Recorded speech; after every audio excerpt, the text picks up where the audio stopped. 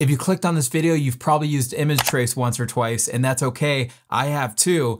And most of the time, people, they go online, they find a PNG or a JPEG, they paste it into Illustrator, they click that image trace button, and it's a quick and dirty way of getting a vector, right? Or maybe you're like me and you pasted your Photoshop design into Illustrator, you clicked image trace, and you were just so stoked about what you're about to see, and then you were let down because image trace completely bombed it, destroyed all the detail. And the answer is simple, image trace has a problem. We're gonna get to the bottom of it, and I'm gonna show you guys how to fix it. By the end of the video, you're gonna gain some new skills and you're gonna become a vector master. Speaking of new skills, I've been diving into Blender lately using Skillshare, which has been incredibly helpful, and they happen to be today's sponsor. Skillshare is an online learning community that will help you explore, discover, and enhance your creative skills. There's classes on various topics such as photography, graphic design. You can type whatever you wanna learn and choose from a plethora of classes. I've been taking a Blender course by K1, and it has been a game changer for me. It's helped me simplify Blender in a way that I can actually understand the in-depth exploration of node systems enabled me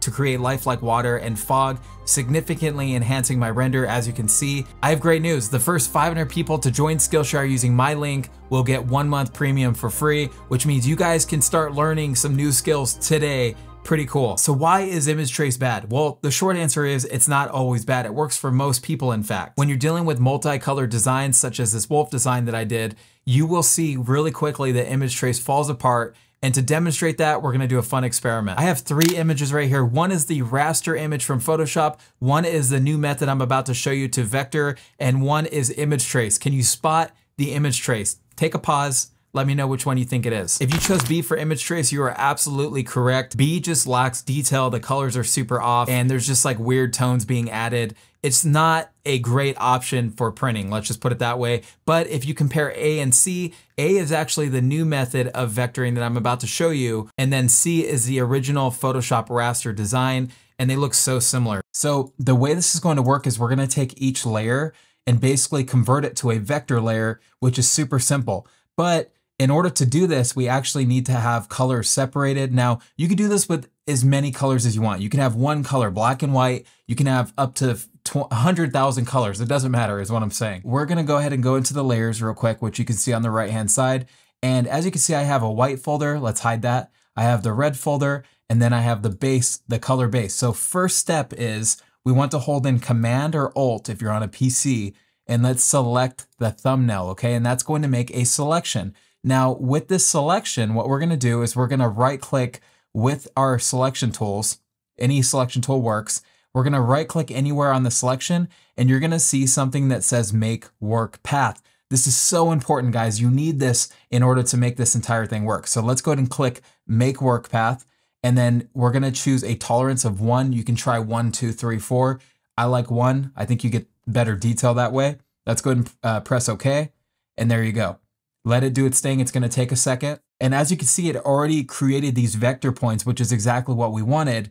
Now, what we need to do is actually create a solid color with this. What that just did is it actually created a vector layer with this color that we're uh, selecting from the color picker. Now, I don't have my swatches up. Let's go ahead and press OK. And then I'm going to turn my color swatches on and you can see my colors right there. So all you have to do to change the color is there's like a little box on the right corner of your th thumbnail here. Let's just click on that twice and it's going to pull up the color picker and we can just select the color that we need and press OK. And there you go, simple. Now we have to do this for every color. So let's go ahead and title this, uh, I don't know, color one. It doesn't even matter actually. And let's drag that above everything. And now let's go ahead and go to red and we're gonna do the same exact process. We can hide color one for now on the top and I'm gonna duplicate red and let's just merge this group together. Now I have my red isolated on its own layer. It's a raster layer. I'm gonna hold in Command or Alt again. Remember, if you're on a PC, it's Alt. If you're on a Mac, it's uh, Command. Let's left click on the thumbnail. It's going to make a selection. And then we're just going to right click with the selection tool and we're going to go make work path again. Choose the same tolerance, press OK. Create a new solid layer, okay? And what that's going to do is again, it's going to create that vector layer and we want to make this the same red. So let's color pick that, press OK. And there you go. Now you have a color separation. You can change the colors if you need to, but how do we export it to Adobe Illustrator. It's super simple, guys. We're gonna go to File, Export, and actually, no, we're gonna go File, Save a Copy, and then you're gonna save this as Photoshop EPS. So we can name this Wolf Color Sep vectors, whatever you want. It doesn't matter. And let's go ahead and press save. Next dialog box is going to be called EPS options. You want to make sure you check include vector data. If this is unchecked, you're going to have issues. It's not going to work properly. Okay. So you want to include vector data and then you want to press OK. It's going to save it. This is where your mind's going to be blown because when you go to the layers now, you'll see a group. Let's open that and you'll see each and every color that we just saved from Photoshop imported into Illustrator as a vector. And let me show you exactly what that looks like. So first, let's just title these the colors that we're trying to go for. So let's just go red. And then this can be, um, I don't even know. It's kind of like a brown color. I don't know the exact color, but you're going to notice there's like annoying, there's an annoying background. If you try to move it, it's not going to work. So what we could do is we could just select everything by pressing command A, right click, and let's just click ungroup. And that's going to ungroup the background so I can then delete it. Another issue I see is I have this like red speck right here. So it's a good opportunity to also fix that. So I could just select that little speck and click delete on my keyboard. Super simple, but if I zoom in, you could just see how much more detail we're getting. Now that we ungroup that, what we could do is we can actually extend this background layer just like this. And also, this is a vector, right? So we can actually, you know, import this and resize it to any size we want to fit our screen printing needs, or maybe you're trying to print a poster, whatever it may be, you can just resize it because it's a vector. It's scalable. Um, it's not a raster image. So when you go to scale it up, it's not going to lose quality. So let's go ahead and actually toggle on each color or off each color and look at them individually. So that is the base color. Now let's toggle on the red. You can see the red and then we have the white, of course, for those highlights. Any color that you select, you're gonna notice the blue outline, which is basically the vector points.